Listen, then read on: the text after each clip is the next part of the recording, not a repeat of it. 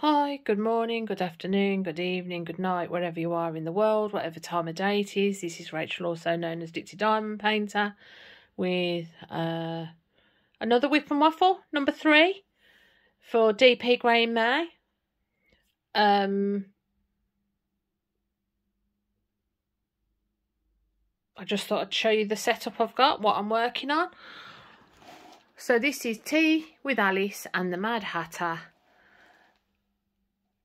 Um, a Besties Diamond Art painting by Sherri Baldy up there, and it's from Diamond Art Dreams.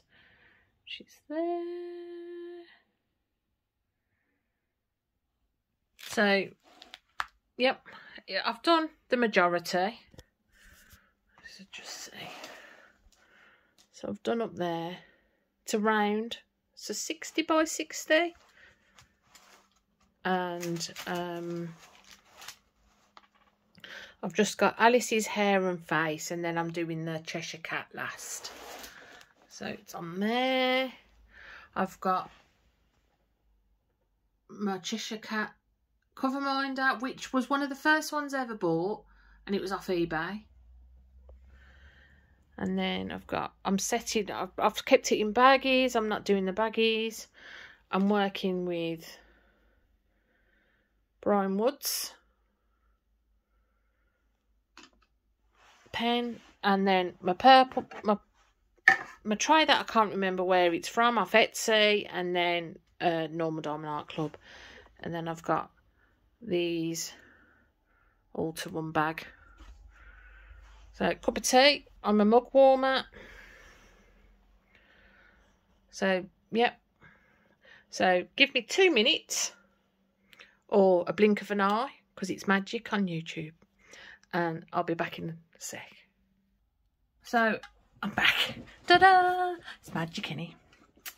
So, uh, first I'm going to do a draw for last week's Wip and Chat. And it was, you had to find, put the word dreams in your comment.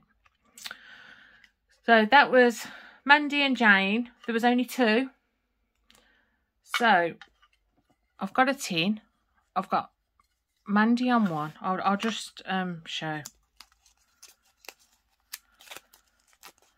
There's Mandy's. And there's Jane's. So they're both in there. I'm going to put the lid on. Ooh, shake a shaka shaka. I am closing my eyes. I can't show you. And then I'm going to just dip my hand in and take one out. And um, we'll see what the name is. And it's Mandy. So Mandy, you've worn um, this pen. So if you want to message me, I'm on Instagram, uh, or I'll put my um, email in um, the, you know, the description. Do, do, do. So that's yours. I still haven't sorted Jane's cover minders out. I will have to do that.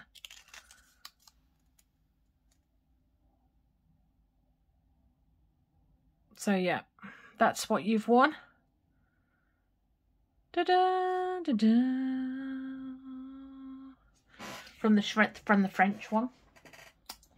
Uh, and then later on in the video, I'll be saying another word for you to put in the comments to get it. And today, I thought beans is um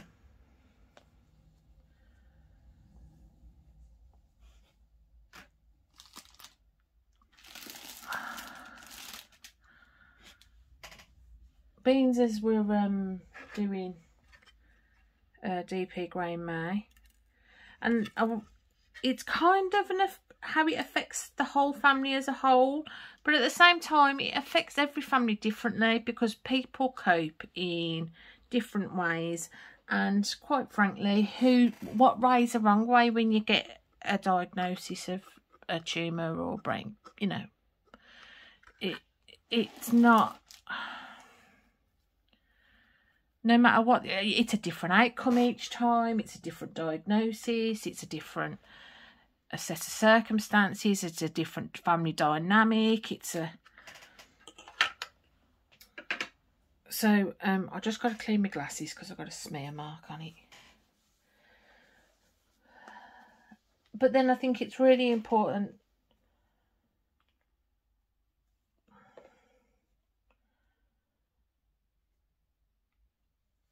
you know, are you a person that takes it on the chin and just gets on with things? Are you a person that sees the worst in everything? You, you know, it's different for every.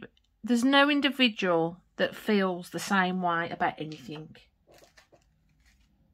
You can have the same opinion on something, but you can't feel what someone else is feeling um, you know, if you've got kids that um, are too young, you've got kids that I might have to actually up this wax a bit. So this is the wax from a different painting. I just carried on using it from uh, KC Design Australia wax. Um, I don't. I find it really hard, but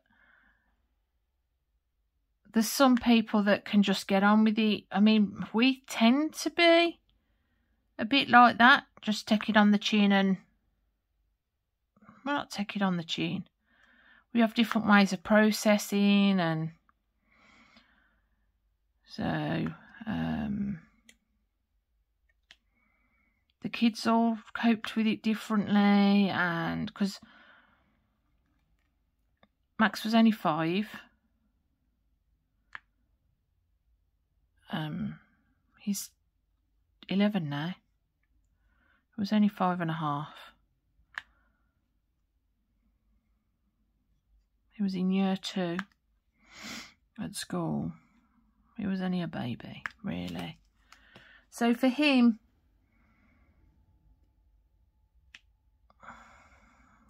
it was kind of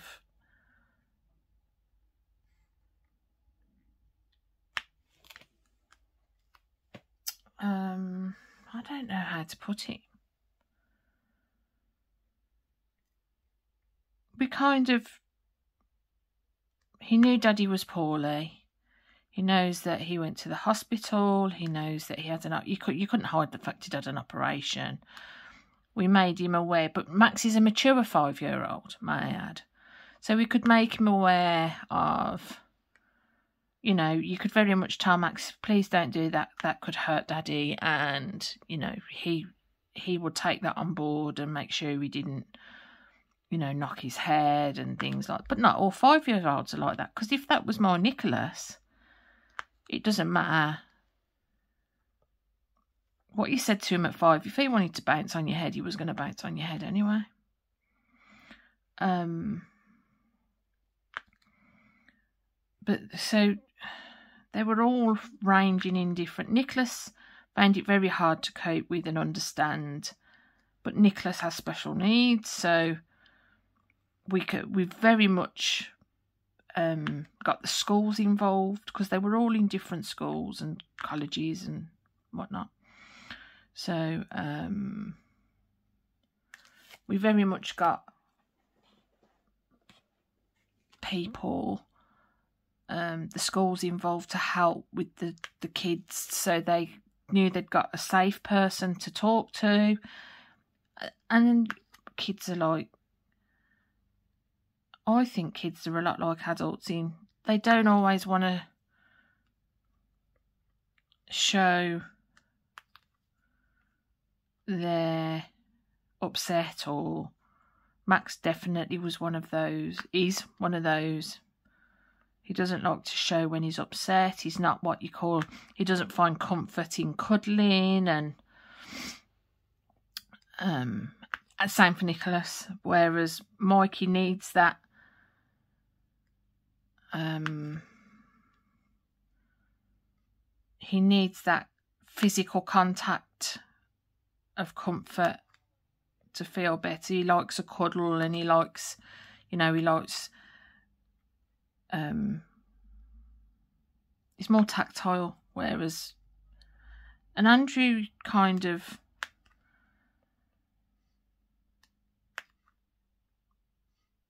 Andrew and Mikey actually to that extent, kind of, they need to be on their own for a little bit and it's very much a genetic thing. It's a, it, it's it's my family's kind of on my dad's side. We need to just be on our own in a room, cry, um, and process and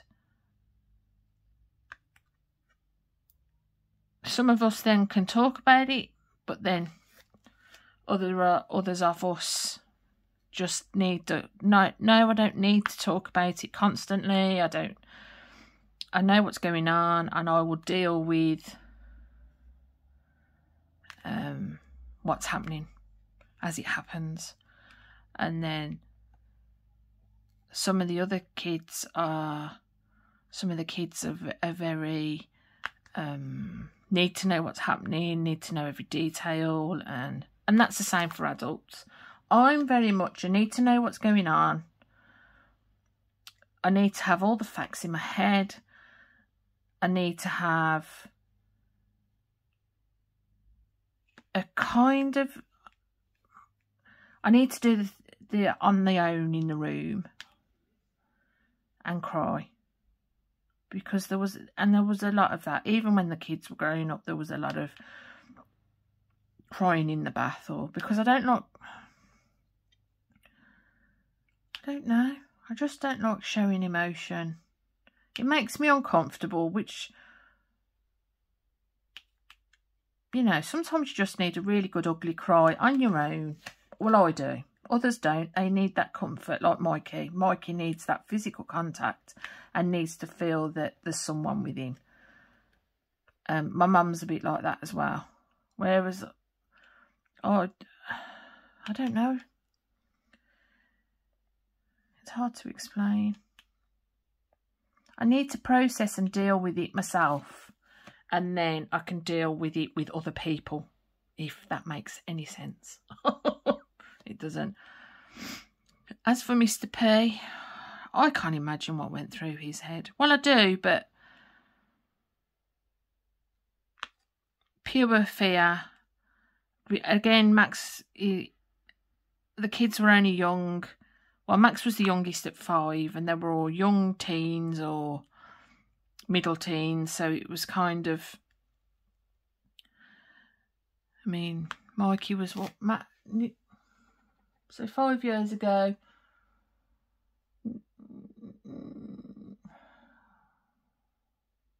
Andrew would have been, he's 24 now, 19. So was at uni, he was, he was at going to uni. Then we had Nicholas at 14, going on 15, and then Mikey was 11. Yeah, Mikey was 11 and Max was 5. So, you know, we had all the ranges of emotions and... But again, we got people that from the schools to really help with that.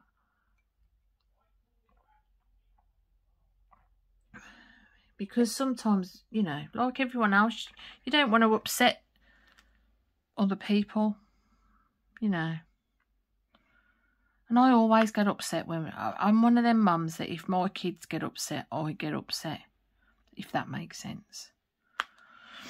And that's what, not what they needed. They needed to have that person also that didn't get upset and could, you know, speak about things and because it, it's not i don't get upset about what they're talking about i'm not getting upset about what their worries are. I'm getting upset with the fact that they're upset. that makes no sense, does it? Makes no sense. Rachel, it makes no sense whatsoever. So, yeah. And, you know, we had the diagnosis of, you know, he's got years, and we didn't have the diagnosis of he's got weeks or months or, you know, it, it's different. It's difficult for everyone and they process. And then, you know, I can seem very kind of I think I can sometimes come across as quite cold. Um, I'm going to put it.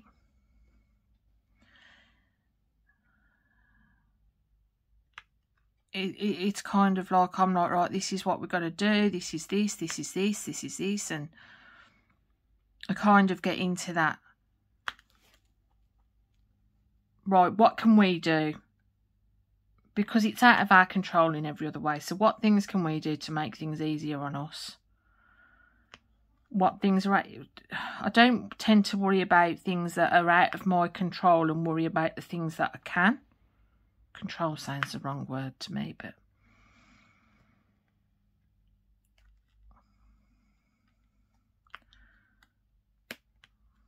So, um, Whereas other people want to put their head in the sand, and that's fine. I understand really wanting to do that. But the people, you know, it, again, it's really difficult.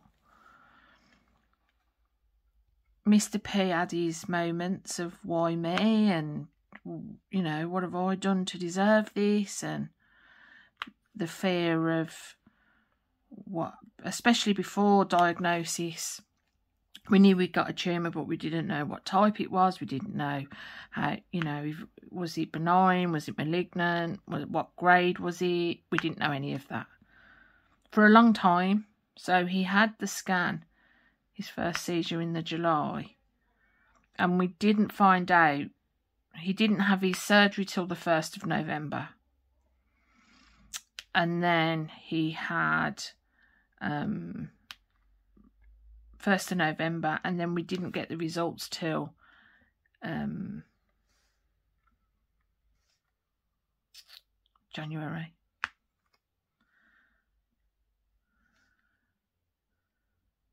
And um,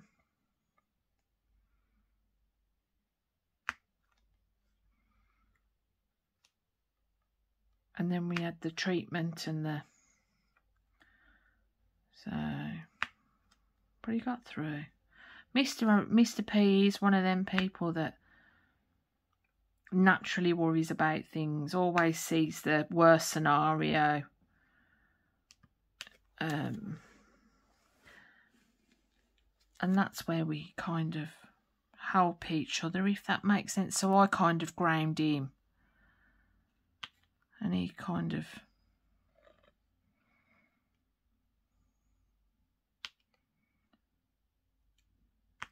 keeps me rolling, if that makes sense.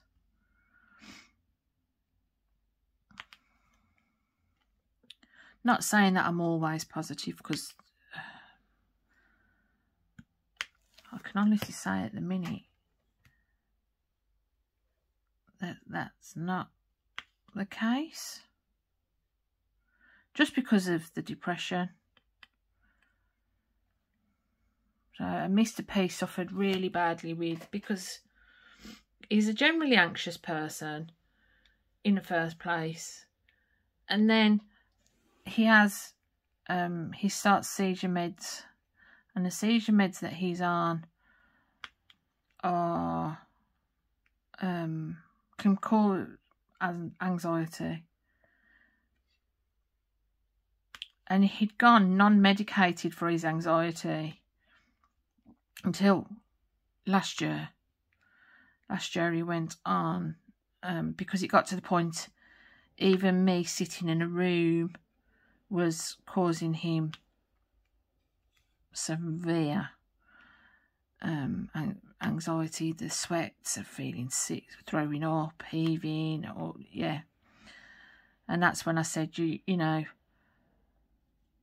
if it, it's got to the point that I can't even sit in a room with you. And I'm normally the person that can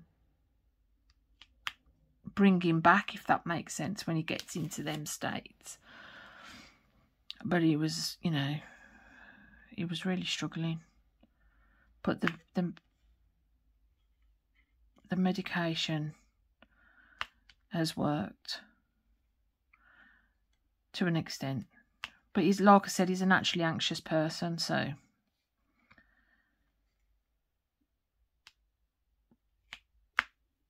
We kind of he, he I kind of calm him down and he kind of pushes me because I'm I'm um what you call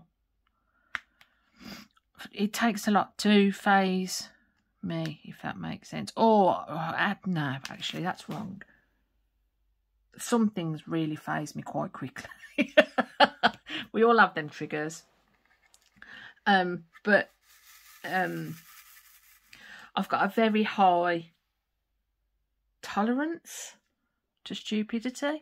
No, no, I'm not saying that.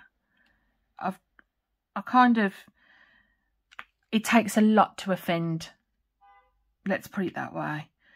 And it takes a lot to kind of, um, for me to react to things. If it's negative things, so it's like if there's a dilemma, just throw me in and I'm alright. I know what I'm doing. Chaos, cry in the bath, cry on the toilet occasionally, you know, that kind of thing. Organise, all the rest of it. People can say horrible things about me, don't really care. People, um, you know, I'm not one to I'm not one to be worried what other people think, if that makes sense.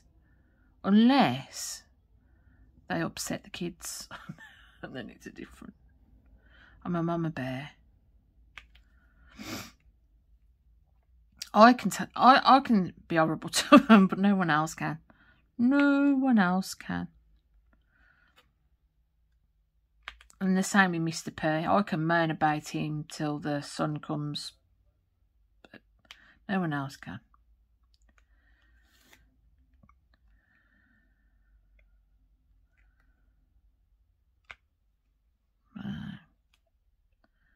Yeah. But if you are struggling with mental health in general, because it is mental health in May, isn't it? It's but I know there's a couple of events that are going on for mental health in May. I think. Um,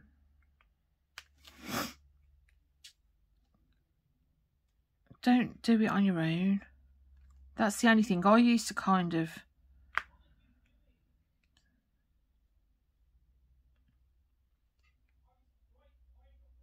Can you hear Nicholas ranting on the Xbox? I'm sorry if you can hear it. He's obviously not playing football because when you hear him play football on his um, Xbox, all you can hear is sorry, sorry.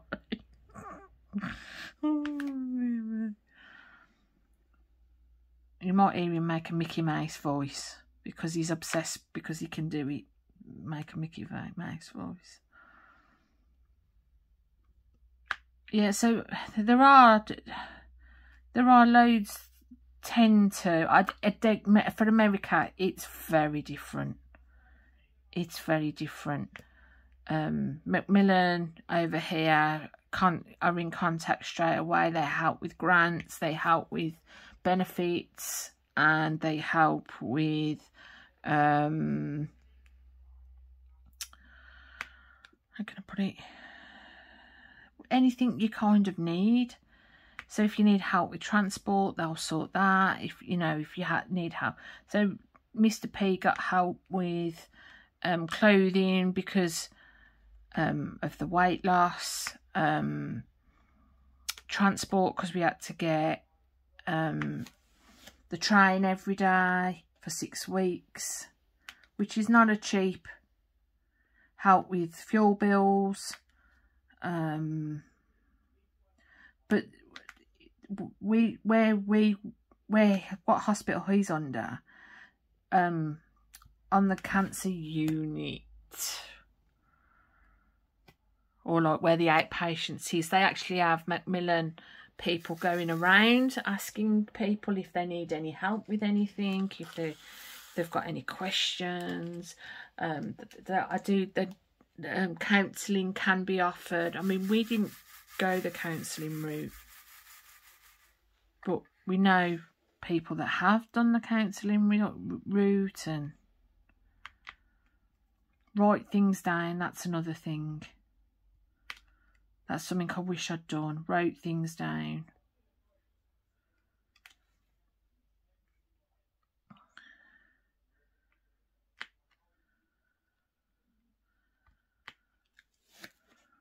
Um, don't look too much on the internet. And please don't watch um 24 hours in A&E. Mr. P got obsessed with watching um because his brain they were they were doing a like uh, at the hospital we was at actually a program on BBC One following surgeons and stuff and it, Mr P's surgeon was actually actually did um the same surgery that he did on Mr P and um, he went down a rabbit hole of watching everything and anything. Whereas I, I kind of, I don't need to be reminded of the, excuse my language, shitstorm. And um, maybe it's, I don't know, putting blinkers on it. I don't know. I can only deal with things as they happen and where others people need to try and predict the future and do what they can before that, if that makes sense. I'm more of a fly by the seat of my pants kind of girl.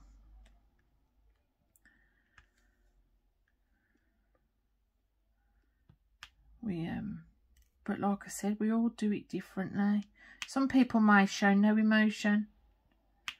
Some people may not feel anything because they have that mechanism where they just switch off.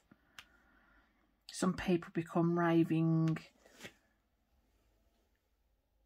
you know, sobbing and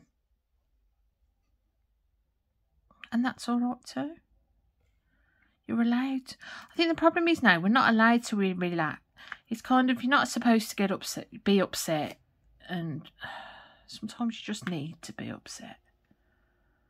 Sometimes you just need to have a bad day. Sometimes you need to just wallow in self-pity. I mean, when it gets to all the time, then, mm, you know. But you're allowed to have that day where you think, what the... I'm not facing it. I'm not facing it today. Again, obviously, if it becomes a constant thing, but, you know, you're allowed to feel a lot bitter. Why not? Why can't you be bitter?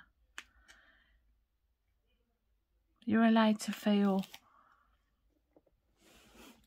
like there's other people that deserve it more. Do you get what I mean? Why is it always the good ones? That's a very good um, thing that runs through your head there's people out there that have abused themselves and others for and yeah. We're not going down that route but but you're allowed to. You're allowed to have that.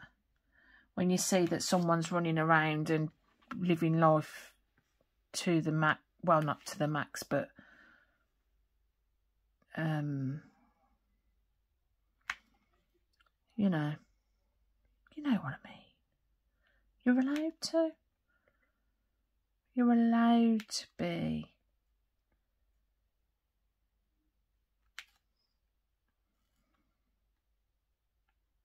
Because otherwise you're just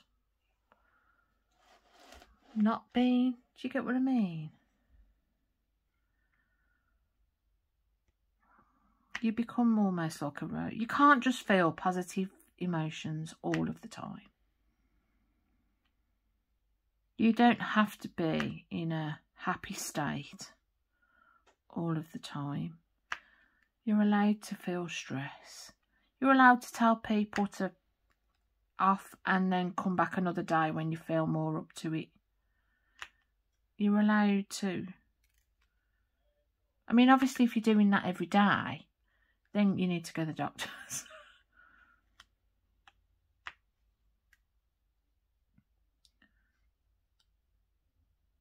but you're also allowed to have, laugh. Me and Mr. P and the kids constantly laugh and we constantly joke around and we constantly take the pee out of each other and we constantly what other people will gasp at we find quite funny you know it's you in you can't forget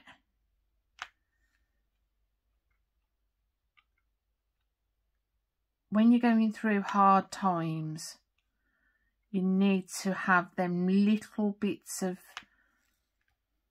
that bring a smile. Because otherwise it overshadows everything if that makes sense. So we're very much a one of a let's prank each other um you know that kind of thing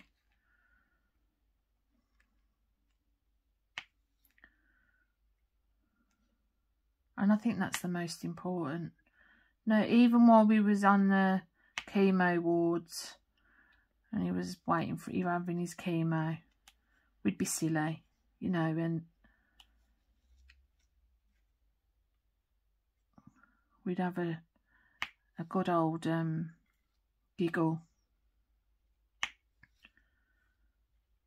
But that's what works for us.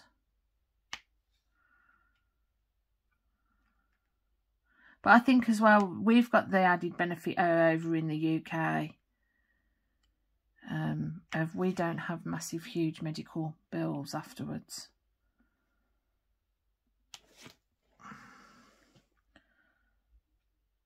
I don't know how I would cope if that wasn't the case.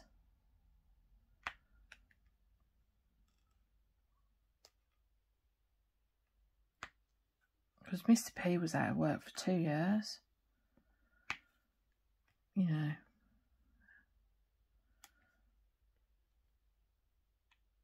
So, I don't know what we would have done if things were, if we was in a different country, to be honest.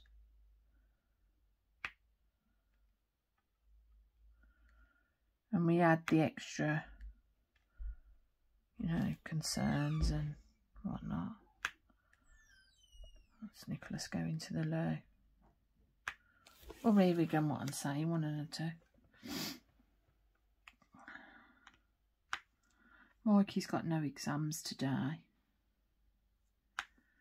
So,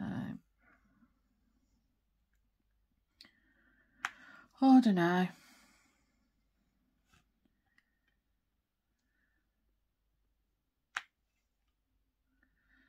I will admit, when you... I don't know how I would have coped either if I had already been suffering with depression either. Because that that's a whole other ball game. Serious counselling, I would have thought, and um, talking about it.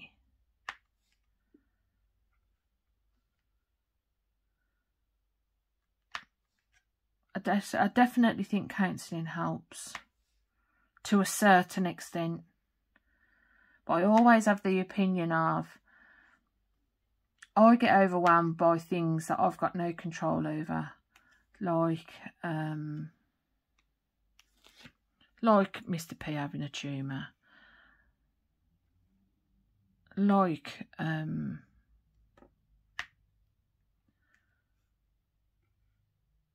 you know things that are completely out of your control and but you live with it every day there's a difference when things are out of your control but you don't have to deal with it every day but when you have to deal with it every day that makes it different, if that makes sense.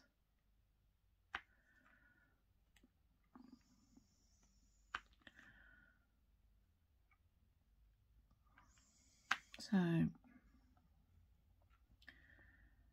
so it's good to talk through that.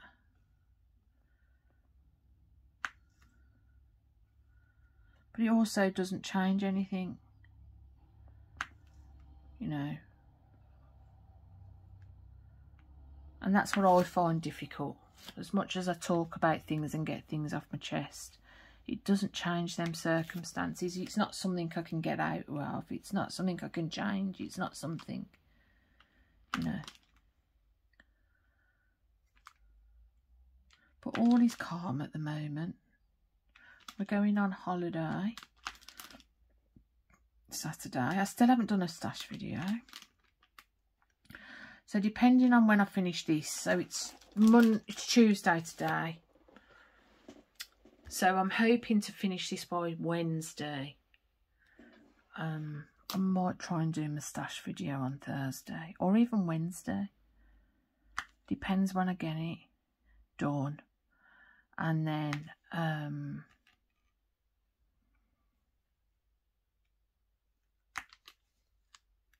I don't know. Try and get it on.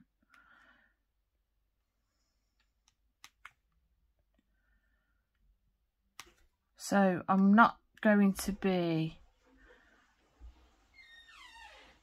able to do the last video for DP Grey in May till actually in June.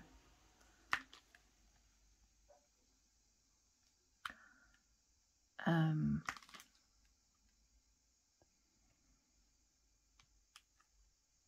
so again, I might do a video put a video up of where we're staying next week. What can the prize be for this week? Um,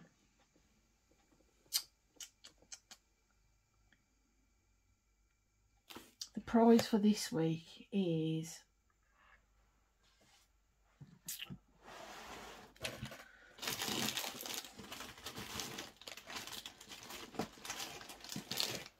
I'll do two prizes pen each. So the blue ones. These are from uh, Crafty, uh, yeah, Crafties. And um, some and some little bits and bobs, if that makes sense. So a cover minder and a, um, I might sort of put some washi tape in and, um, you know, just a little.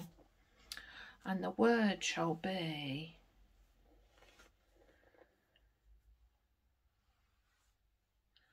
The word shall be. Hmm. What shall the word be? Happy place. So where's your happy place? My happy place is diamond painting. or reading when I, I, can concentrate, but I'm still struggling with the reading thing at the minute. But um, yeah, things I do, diamond painting really does with an audio book on, and my brain totally disengages from everything. And I, and I'm kind of reading still with an audio book. So yeah, diamond painting's definitely my happy place.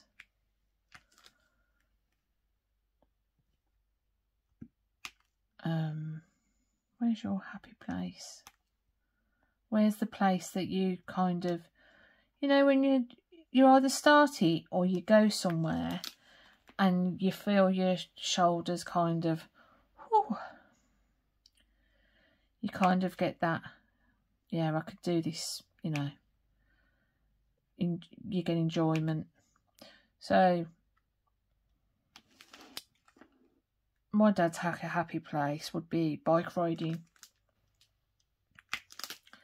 Someone's happy place might be um, having a massage because that's really nice as well. I do like a massage. Um, someone else's happy place might be just walking the dog. They might find that really relaxing.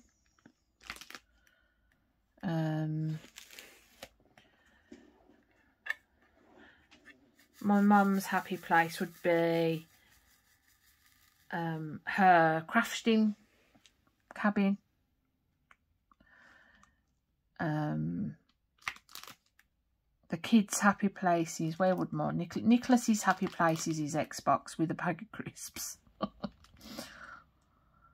Mikey's happy places. Um, I don't know. Mikey's got quite a few actually. So he likes playing football on his Xbox, but he loves playing football outside. He likes walking the dog. He likes running. He likes... He's got lots of different things. He likes And people. I think people can be your happy place as well.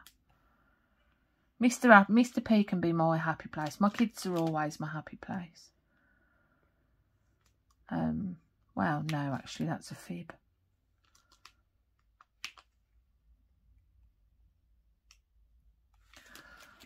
That's a fib. Um, my kids can stress me out no end.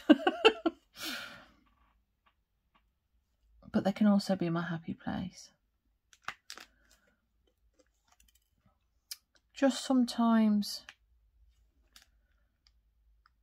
sitting in the garden with a cup of tea. When your garden's nice and not looking like a tip like mine is. But, um, you know, anything cross stitching is your happy place or painting. Some people like to paint, some people, or just meditating. That place that just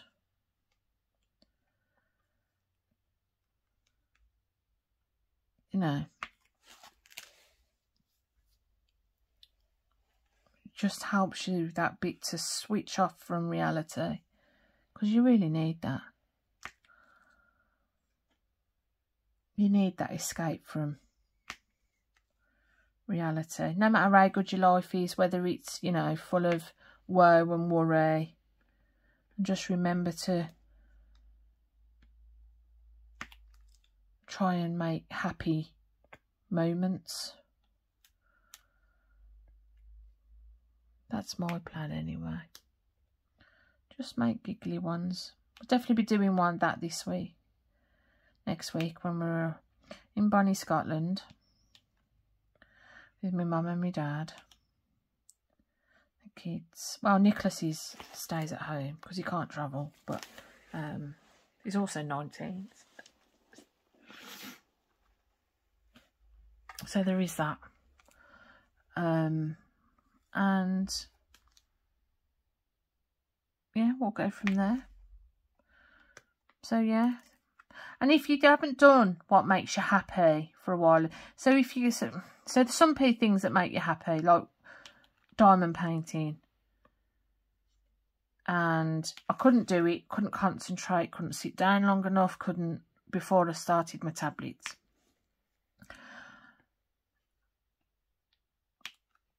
So even just watching something on telly, even though I don't normally watch telly. So I watched um, Wednesday on Netflix. That was brilliant. And I've, I can honestly say it's the first time I enjoyed watching telly in ages was when I watched um, Wednesday. And I watched it all day. And I can't remember the last time I did that either. And I haven't done it since, but you, you get my drift.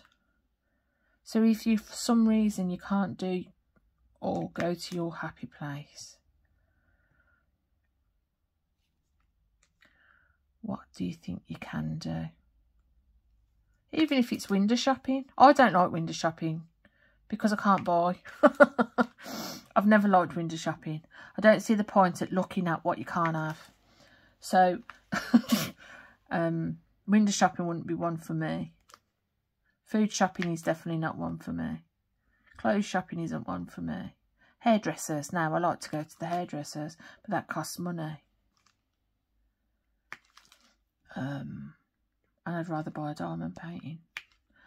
So, um, but it is nice.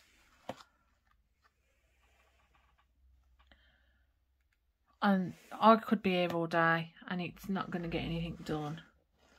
So we have got the magic word to win some pens and some cover minders and whatnot is um happy place. Where's your happy place?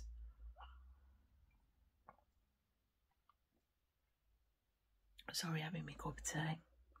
Um, and it's still hot. and um, yeah.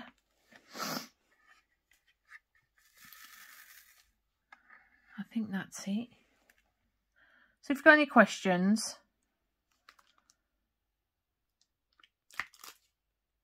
if you need, um, if you want me to look anything up or um, if you want to know anything, then just comment or email or whatever you want to do. And I'll carry on with this. Press that thumbs up. Gonna love you and leave you. I hope to speak to you soon. Bye.